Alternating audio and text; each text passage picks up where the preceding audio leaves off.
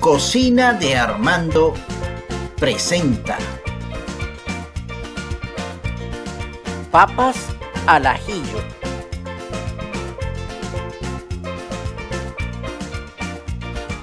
Los ingredientes que vamos a utilizar son un kilogramo de papas, 6 dientes de ajo, media taza de cebolla, 100 gramos de mantequilla, un cuarto de taza de perejil, un cuarto de taza de cilantro, dos cucharadas de cebollín de la parte verde, una cucharada de aceite de oliva, romero, orégano, sal y pimienta.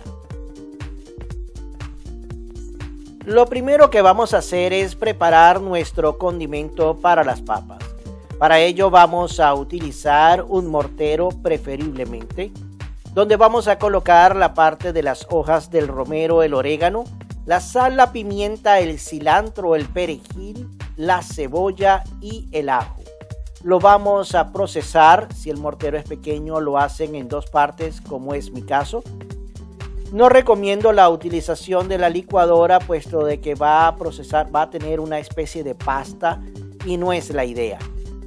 Si no tienen el mortero, pueden tratar de eh, aplastarlo un poco con una cuchara y es suficiente.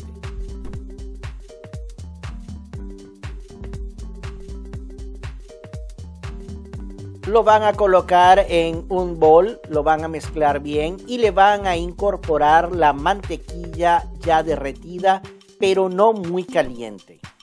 Esto lo vamos a, mezclar y lo vamos a reservar para luego colocárselo a las papas.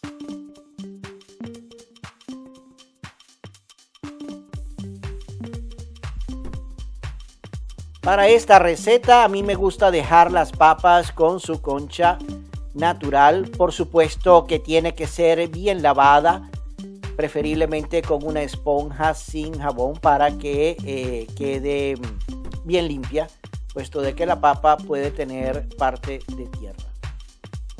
La vamos a cortar en gajos no muy gruesos, pero sí largos.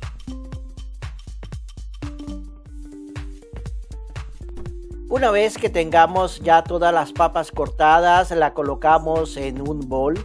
Le vamos a incorporar nuestro aderezo, nuestro aliño y lo vamos a mezclar bien para que todas las papas queden impregnadas por toda la superficie con nuestro condimento. Colocamos un papel para hornear en una bandeja, le dejamos caer el aceite de oliva y luego le vamos a colocar nuestras papas.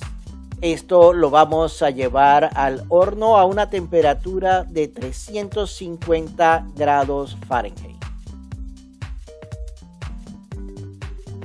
El tiempo de cocción va a variar dependiendo del tamaño en que eh, cortemos las papas. Esto lo tenemos que probar hasta que la papa esté al dente.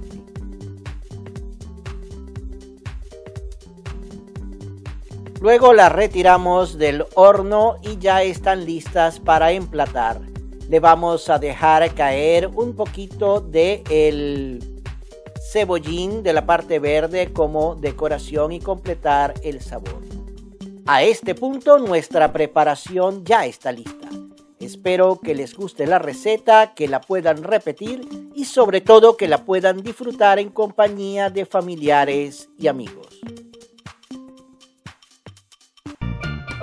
Si te gustó este video, dale me gusta y por favor activa las notificaciones.